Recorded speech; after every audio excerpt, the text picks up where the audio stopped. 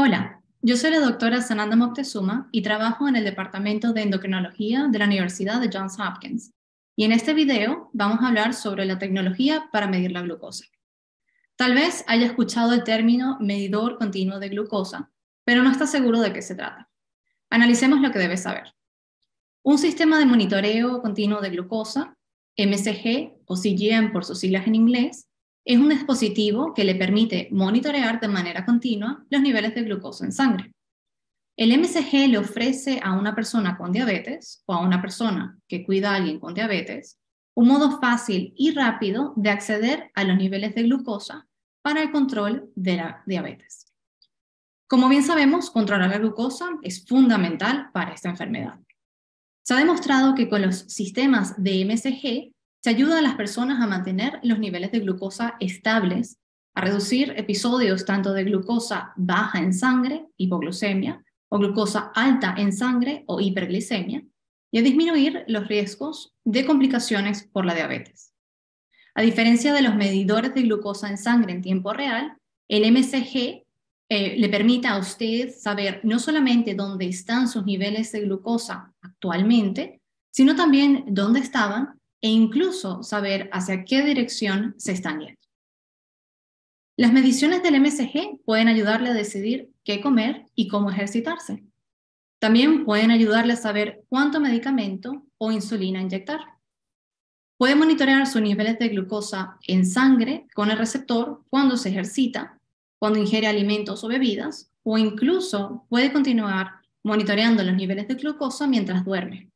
De esta manera, usted puede saber cómo afectan estas actividades su nivel de glucosa en la sangre durante el día y durante la noche. Toda esta información detallada le da a usted y a su proveedor de salud una mejor idea de cuáles son sus cambios o sus necesidades de tratamiento y si se requiere hacer cambios en sus dosis de medicación para tratar azúcares altos o prevenir que vuelvan a ocurrir niveles de azúcares bajos. Un medidor continuo de glucosa tiene varias partes. Usted utiliza una parte, el sensor, contra la piel. Tiene una aguja diminuta que permanece bajo de la piel y mide el nivel de azúcar en sangre de manera constante. Esta información se envía a un receptor inalámbrico. El receptor puede indicarle si su nivel de azúcar en la sangre sube o baja y con qué rapidez cambia el nivel de azúcar en sangre. Puede visualizar los datos almacenados para ayudarle a identificar tendencias en su nivel de azúcar. Algunas bombas de insulina también incluyen un MSG. En este caso, la bomba de insulina actúa como un receptor. La tecnología de los medidores continuos de glucosa cambia y mejora constantemente. En este video repasaremos algunas cosas que debes saber sobre los MSGs. En la mayoría de los medidores disponibles en el mercado en los Estados Unidos, es necesario cambiar el sensor. Según el sistema, es posible que tenga que cambiar el sensor cada par de semanas. Algunos sistemas tienen sensores que duran entre 10 y 14 días. Y algunos medidores requieren incluso que se pinche el dedo para confirmar la precisión del MSG. Como ya dijimos, los sistemas de MSG incluyen un sensor, un transmisor y un receptor que trabajan en conjunto para registrar y proporcionarle la información que usted necesita. Otros sistemas de MSG requieren un lector que se utiliza para escanear el sensor a menos cada 8 horas para que no se pierda la información. También se puede utilizar una aplicación móvil para escanear el sensor y evitar tener que llevar un dispositivo adicional.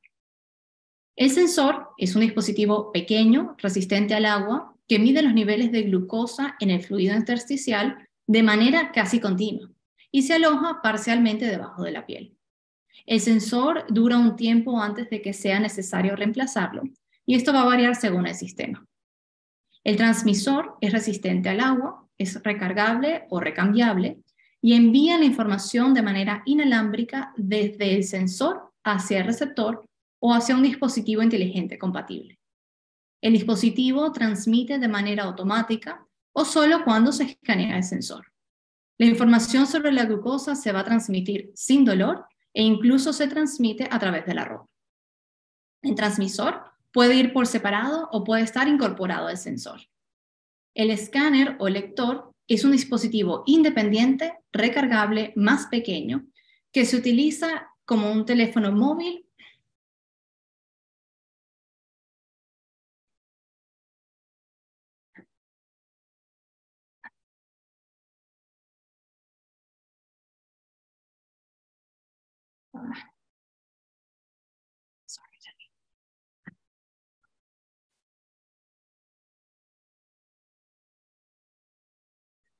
Sorry about that. I, is it okay if I pause a second? The light just went off, so I'm just going to Como ya dijimos, los sistemas de MSG incluyen un sensor, un transmisor y un receptor que trabajan en conjunto para registrar y proporcionarle la información que necesita. Otros sistemas de MSG requieren que un lector se utilice para escanear el sensor al menos cada ocho horas para que no se pierda la información. También se puede utilizar una aplicación móvil para escanear el sensor y evitar que lleve un dispositivo adicional. El sensor es un dispositivo pequeño que es resistente al agua, que mide los niveles de glucosa en el fluido intersticial de manera casi continua y se aloja de forma parcial debajo de su piel.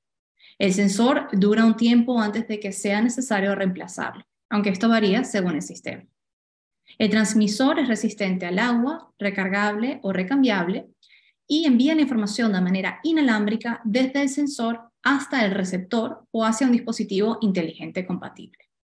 El dispositivo transmite de manera continua o de manera automática o solo cuando se escanea el sensor. La información sobre la glucosa se va a transmitir sin dolor e incluso se puede enviar a través de la ropa. El transmisor puede ir por separado o puede estar incorporado al sensor.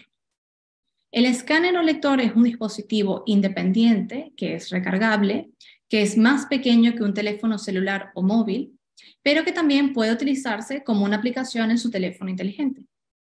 La información se muestra de forma gráfica y se actualiza de forma constante con datos nuevos sobre su glucosa.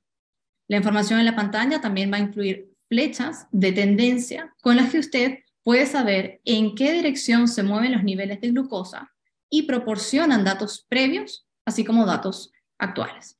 Toda esa información puede ayudarlo a usted y a su proveedor de salud a tomar decisiones sobre el tratamiento. La principal característica de los sistemas de monitorización flash, que es uno de los dos tipos de dispositivos que existen en el mercado, es que no existe un transmisor. El sensor, que realiza una monitorización continua, almacena los datos hasta 8 horas y es necesario luego escanear este sensor con el lector para que transfiera la información.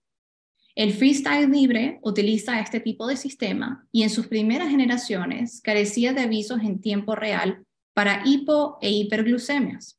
Esto cambió con las más recientes versiones que incluso incluyen alarmas para estas situaciones. El segundo tipo de dispositivos es el sistema de monitorización continua. Estos incorporan el transmisor, por lo que los datos son enviados al receptor de manera constante. Cuando estos sistemas aparecieron por primera vez, su principal ventaja era la programación de alarmas cuando los niveles de glucosa se desvían de un valor preestablecido para la toma de medidas oportunas. Actualmente existen dos sistemas que utilizan monitorización continua, que son el Guardian y el Dexcom. Una de las ventajas de estos dispositivos es que expanden las posibilidades de medir el éxito. Y esto ya lo hacemos con la hemoglobina A1C, pero con los MSGs se introduce el concepto del tiempo en rango. Conocer los datos sobre su glucosa es una de las claves para mejorar el control de la diabetes. La mayoría de las personas con diabetes se realiza una prueba de sangre llamada hemoglobina A1C o simplemente A1C una vez cada 3 a 6 meses.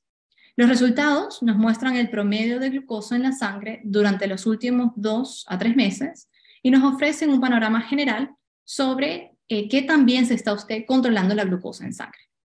Sin embargo, la prueba de A1C no registra el tiempo en que la glucosa en sangre se encuentra por debajo o por encima de un rango objetivo.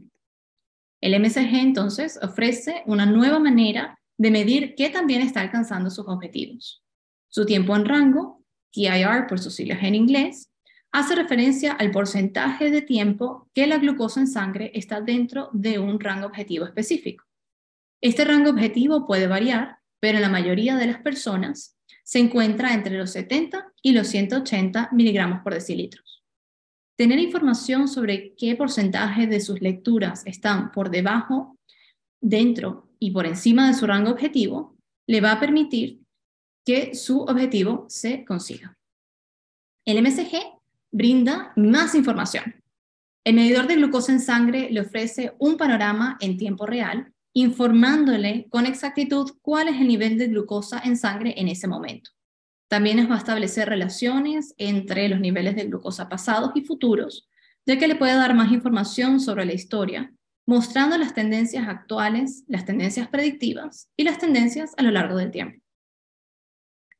Así como un furgón de cola se arrastra detrás de la locomotora, los resultados de los sensores de glucosa pueden ir un poco más atrás que las mediciones de glucosa en sangre. Es decir, con las lecturas del sensor de glucosa se le informa cómo estaba su glucosa unos minutos antes.